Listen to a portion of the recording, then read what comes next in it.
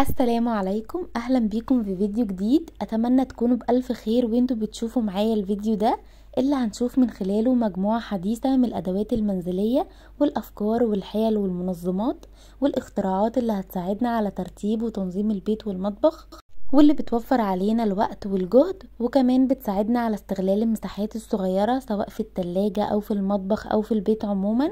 وطبعا في نهاية الفيديو ده كالعادة هقولك على الطرق اللي تقدري من خلالها تجيبي كل الأدوات اللي انتي محتاجاها. ولو لسه مشتركتيش في قناتي أتمنى إنك تدعميني وتعملي اشتراك للقناة وياريت كمان تفعلي جرس الإشعارات للكل عشان يوصلك إشعار بكل فيديو جديد ويومي بينزل على القناة إن شاء الله. ويلا بينا بقى دلوقتي نبتدي الفيديو بتاعنا مع بعض ونشوف الأدوات اللي هتتعرض معانا في الفيديو ده وإزاي نقدر إن إحنا نستخدمها ونستفيد منها. هنا هنشوف مع بعض عندنا أداة للمطبخ. تقدري إن انتي تغسلي من خلالها الخضار أو الفاكهة وتقدري كمان تستخدميها كمصفى وتصفي من خلالها أي حاجة انتي بتغسليها فيها. زي ما هو ظاهر كده قدامك من خلال الفيديو. وطبعا طريقة استخدامها بتكون سهلة جدا. وهنا هنشوف مع بعض عندنا باسكت للغسيل. تقدري إن انت تثبتيه على الجدار أو جنب الغسالة وطريقة تثبيته بتكون سهلة جدا. تقدري إن انت تحطي فيه كل الهدوم اللي بتبقى محتاجة تتغسل عندك. بعد كده هنشوف مع بعض عندنا هراسة للثوم طبعا تقدري إن انت تهرسي بيها الثوم بطريقة سهلة وبسيطة جدا زي ما انت شايفة كده معايا من خلال الفيديو. وطبعا هي مصنوعة من الفولاذ المقاوم للصدى. وهنا هنشوف مع بعض عندنا الجهاز اللي بيساعدنا على صنع المكرونة بمختلف أشكالها وطبعا طريقة استخدامه سهلة جدا وبيجي متوفر معاه كذا شكل. تقدري إن انتي تعملي أي شكل من أشكال المكرونة اللي انتي عاوزاها. هنا عندنا الطاسة الصغيرة دي تقدري إن انتي تعملي فيها الطشة أو تقدري إن انتي مثلا تقلي فيها بيضاية واحدة. يعني هي بيكون ليها كذا طريقة في الاستخدام. وهنا عندنا منظم للكوبايات الورق. طبعا تقدري إن أنتي تثبتيه جنب التلاجة أو على الجدار. وغير كده طريقة استخدامه سهلة جدا. بعد كده عندنا منظم للحمام. تقدري إن أنتي تثبتيه على جدار الحمام بكل سهولة وتنظمي عليه فرش الأسنان ومعجون الأسنان.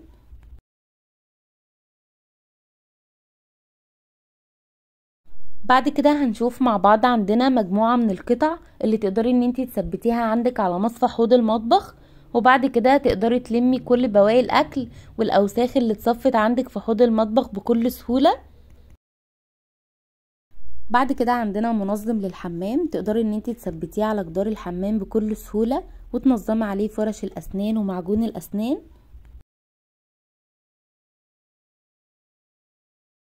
دلوقتي هنشوف مع بعض عندنا منظم بيجي عبارة عن أربع رفوف تقدري إن انتي تثبتيه عندك في الصالة أو في المطبخ وتنظمي بيه الأجهزة الصغيرة أو مختلف الحاجات اللي بتكون عندك في البيت. وغير كده هو بيكون مزود بعجلات بحيث إن انتي تقدري إن انتي تحركيه بكل سهولة.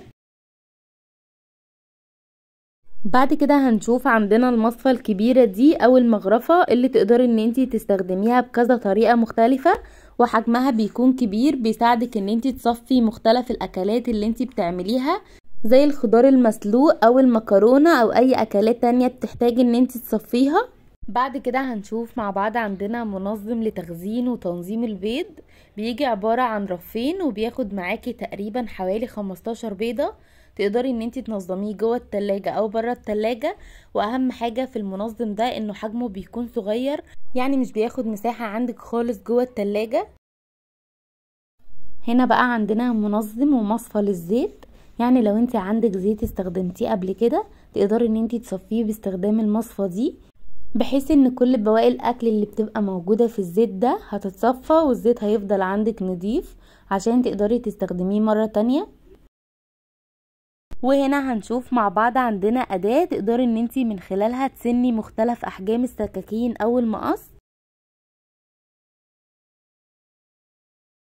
هنا هنشوف مع بعض عندنا منظم للمطبخ تقدري إن انتي تتحكمي بالحجم بتاعه بحيث إن هو يتناسب مع حجم حوض المطبخ عندك. وبعد كده تقدري إن انتي تنظمي بيه أدوات تنظيف المواعين زي الليفة والسلكة أو فوطة المطبخ. وهنا عندنا شكل مختلف من أشكال منظمات المطبخ اللي نقدر إن إحنا ننظم عليها الزيوت أو الصوصات أو التوابل أو مختلف أدوات ولوازم المطبخ اللي بتبقى موجودة عندك.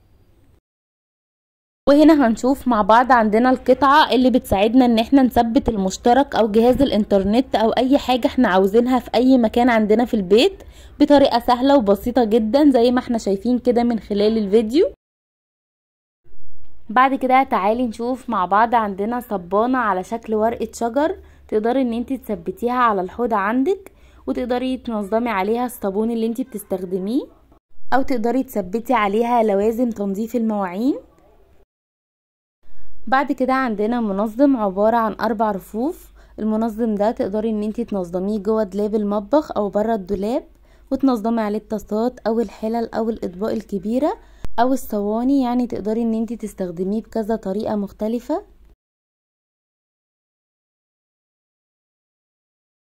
وهنا معانا أداة التنظيف أو الفرشة اللي تقدري إن انت تثبتيها عندك على الحوض وتنضفي بيها مختلف أحجام الكوبايات بكل سهولة وتقدري إن انت تحصلي من خلالها على أفضل نتائج التنظيف زي ما هو ظاهر قدامك كده دلوقتي من خلال الفيديو.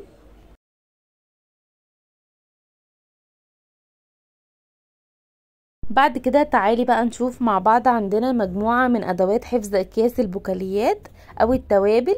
وزي ما انت شايفة كده معايا تقدري إن انت تستخدمي من خلالها أكياس التوابل أو البكاليات دي بطريقة سهلة ومناسبة جدا.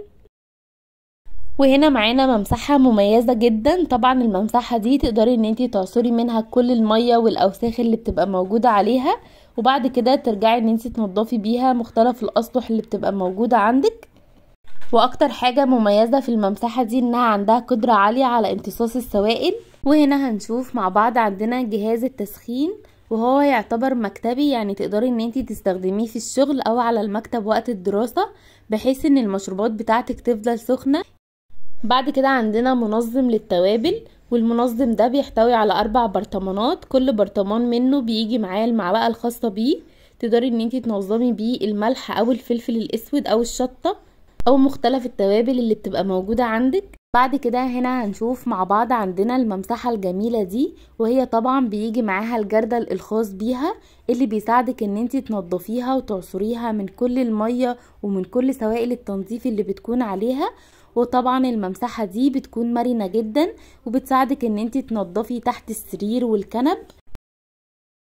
وهنا معانا الممسحة المرنة جدا دي اللي تقدري إن انتي تعصري منها كل المية وكل مواد التنظيف اللي موجودة عليها بكل سهولة وغير كده طرق استخدامها متعددة تقدري إن انتي تستخدميها في تنظيف الجدران أو دواليب المطبخ أو البلاط أو المرايات أو الشبابيك.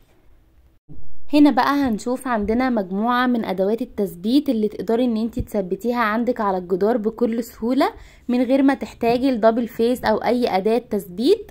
وتقدري إن أنتي تثبتي عليها مختلف الأدوات أو أي حاجة أنتي عاوزاها. وميزة الأداة دي إنك لما بتيجي تشيليها مش بتلاقي أي آثار لزق مكانها على الجدار. بعد كده هنشوف مع بعض عندنا أداة تنظيف كرسي الحمام وهي بتساعدك إنك تنضفي كرسي الحمام بكل سهولة والأداة دي بيجي معاها مجموعة من القطع الإسفنجية اللي بيبقى فيها مادة تنظيف بتساعدك إن انت تنضفي وتعقمي كرسي الحمام وهي طبعا بتديكي أفضل نتائج التنظيف اللي انت بتكوني محتاجاها وغير كده بيجي معاها حامل تقدري إن انت تثبتيها عليه.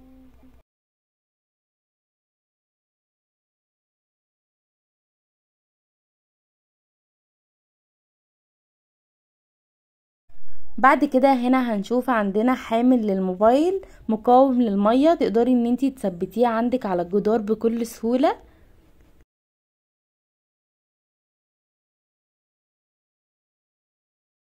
وهنا هنشوف مع بعض عندنا الأداة اللي بيجي معاها كذا قطعة بأحجام مختلفة وهي بتساعدك على فصل البذر من مختلف أنواع الفاكهة أو الخضار اللي بيكون موجود فيه بذر زي التفاح أو التمر. وهنا هنشوف عندنا منظم للحمام. تقدري ان انت تثبتيه على جدار الحمام بكل سهولة من خلال أداة التثبيت اللي بتيجي معاه.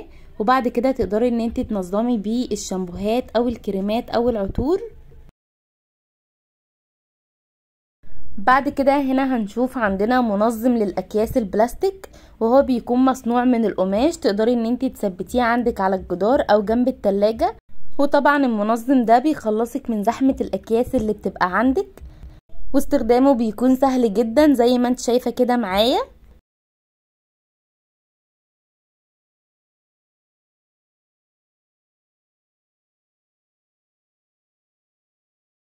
بعد كده هنا عندنا فرشة وقشاطة في نفس الوقت تقدري ان انت تنضفي بيها الأرضيات أو السجاد أو مختلف الأسطح اللي بتبقى موجودة عندك. وغير كده تقدري تقشطي كل المية والصابون من خلال القشاطة اللي بتكون موجودة في الفرشة دي. بعد كده هنشوف عندنا صندوق لتنظيم التوابل والصندوق ده بيجي متقسم لتمن خانات كده أو تمن برطمانات بالشكل ده. تقدري إن انتي تنظمي فيه الملح أو الفلفل أو مختلف أنواع التوابل البودر أو الصحيحة. والصندوق ده طبعا بيجي مقاوم للرطوبة بيحفظ لك أي توابل انتي بتستخدميها فيه. بعد كده هنشوف عندنا ال basket ده تقدري ان انتي تستخدميه على المكتب أو كمان تقدري تستخدميه في اي مكان على الأرض. وهنا بقى هنشوف مع بعض عندنا الأداة اللي بتساعدك ان انتي تعملي من خلالها كرات اللحمة بشكل متساوي. استخدامها بيكون سهل جدا وبتسهل عليك ان انتي تعملي كمية كبيرة من كرات اللحمة في وقت صغير جدا. بعد كده هنشوف مع بعض عندنا منظم لتخزين وتنظيم البيض. بيجي عبارة عن رفين وبياخد معاكي تقريبا حوالي 15 بيضة. تقدري إن انتي تنظميه جوه التلاجة أو برا التلاجة. وأهم حاجة في المنظم ده إنه حجمه بيكون صغير يعني مش بياخد مساحة عندك خالص جوه التلاجة. وهنا هنشوف مع بعض عندنا المصفى أو الأداة اللي تقدري إن انتي تعملي عليها مختلف الأكلات اللي بتفضليها على البخار. والمصفى دي مصنوعة من الفولاذ المقاوم للصدى. وهنا معانا حامل أو منظم تقدري إن انتي تثبتيه على جدار الحمام وتنظمي عليه المناديل أو أدواتك زي الكريمات أو الشامبوهات أو العطور. ودلوقتي إحنا شفنا مع بعض مجموعة متميزة جدا من المنتجات والأدوات الحديثة والأجهزة المنزلية الذكية اللي بتساعدنا على ترتيب وتنظيم البيت والمطبخ وغير كده كمان بتساعدنا على استغلال المساحات الصغيرة زي التلاجة أو في المطبخ أو في البيت عموما وكمان بتوفر علينا في الوقت والجهد. وهي في الحقيقة أدوات عملية جدا وغير مكلفة وبسيطة وبتسهل علينا الحياة اليومية وشغلك في البيت. وكمان وضحنا إزاي نقدر نستخدم الأدوات دي وإزاي نقدر إن إحنا نستفيد منها بكذا طريقة مختلفة.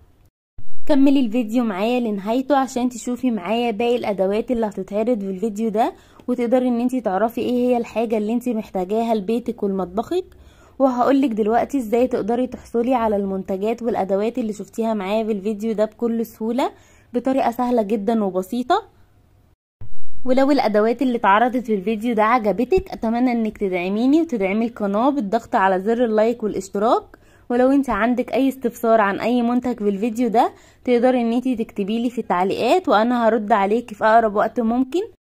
ولو الادوات اللي اتعرضت في الفيديو ده عجبتك اتمنى انك تدعميني وتدعمي القناة دي بالضغط على زر ال like والاشتراك. ولو انت عندك اي استفسار عن اي منتج في الفيديو ده تقدري ان انت تكتبي لي في خانة التعليقات وأنا هرد عليكي في اقرب وقت ممكن. ولو عايزة تشوفي أدوات منزلية جديدة وأفكار تانية كتير ما تنسيش تدوسي اشتراك وتفعلي جرس الإشعارات للكل عشان يوصلك إشعار بكل فيديو جديد ويومي بينزل على القناة إن شاء الله. ودلوقتي بقى بعد ما اتكلمنا ووضحنا على كل حاجة محتاجة تعرفيها عن كل المنتجات المتميزة اللي اتعرضت معانا في الفيديو ده هقولك إزاي تقدري تحصلي على المنتجات اللي شفتيها معانا في الفيديو ده والأدوات اللي محتاجاها في بيتك أو في مطبخك. وهقولك عن الطرق اللي تقدري إن انتي من خلالها تجيبي كل المنتجات والأدوات دي بكل سهولة. تقدري إن انتي تجيبي المنتجات دي بثلاث طرق وطبعا تقدري إن انتي تختاري الطريقة المناسبة ليكي على حسب المكان اللي انتي بتكوني متواجدة فيه. فبداية كده أول طريقة لو انتي عاوزة طريقة معتمدة فتقدري إن انتي تجيبي كل الأدوات دي عن طريق تطبيق علي اكسبريس أو تطبيق امازون أو تطبيق بنجود أو تطبيق اي باي أو تطبيق نون. بالنسبة لأسعار المنتجات دي فهي بتبقى كويسة وطبعا بتعتمد على حسب الحاجة اللي انت عاوزة تجيبيها. لو كانت مثلا منظمات أو أدوات عادية للتنظيف أو أجهزة كهربائية فأكيد كل حاجة بيبقى ليها سعر مختلف. أما سعر مصاريف الشحن فده طبعا بيعتمد على حسب المكان اللي انت بتكوني موجودة فيه. يعني مثلا تكلفة الشحن للدول العربية غالبا بتكون غالية شوية أما مصاريف الشحن لفرنسا أو أمريكا أو الدول دي بيبقى سعر الشحن ليها منخفض شوية وبيكون في دول الشحن فيها مجاني فأعتقد إن الطريقة دي بتعتمد على حسب المكان اللي أنتوا بتكونوا متواجدين فيه. بعد كده عندنا الطريقة التانية اللي ممكن تسهل عليكم أو تحللكم مشكلة تكاليف الشحن وهي بتكون الأونلاين على صفحات الفيسبوك أو الإنستجرام. وطبعا الصفحات دي بتبقى عبارة عن تجار بيجيبوا كميات كبيرة من المنتجات دي وبيبيعوها عن طريق الأونلاين على ال social media وبتقدري تطلبي منهم المنتجات والأدوات اللي انت عاوزاها وبتوصلك لحد باب البيت بمصاريف الشحن على حسب المحافظات. وطبعا مصاريف الشحن بتاعتهم بتبقى منخفضة وحلوة جدا مش زي مصاريف شحن التطبيقات اللي قلتلكوا عليها. وعاوزة أقولك إن طريقة البحث على الصفحات دي بتكون سهلة جدا. بتكتبي في خانة البحث في الفيسبوك أو الإنستجرام عن الأدوات المنزلية وبتقدري توصلي لها بكل سهولة. أما بالنسبة للطريقة التالتة فهي المحلات الموجودة عادي في الأسواق الكبيرة أو في المولات اللي بتبيع المنتجات والأدوات دي زي كارفور ورنين وغيرهم من المولات الكبيرة اللي بتكون خاصة بالأدوات المنزلية والأجهزة وجهاز العرايس. بس كده دول الثلاث طرق اللي تقدري إن أنتي تحصلي منها على الأدوات دي بكل سهولة. ويا ريت طبعا لو أي حد يعرف مكان عنده المنتجات دي أتمنى إنه يكتب لنا في التعليقات عشان الكل يستفيد ويقدر إن هو يوصل لها بكل سهولة. وبس كده ده كان فيديو النهاردة. أتمنى إن الفيديو ده يكون عجبكم ولو الأدوات والمنتجات اللي اتعرضت في الفيديو ده عجبتكم أتمنى ما تنسوش تدعموني وتدعموا القناة دي بالضغط على زر اللايك والاشتراك. ولو عندك أي استفسار في أي حاجة تقدري إن أنتي تكتبيلي في خانة التعليقات وهرد عليكي في أقرب وقت. أسيبكم في رعاية الله.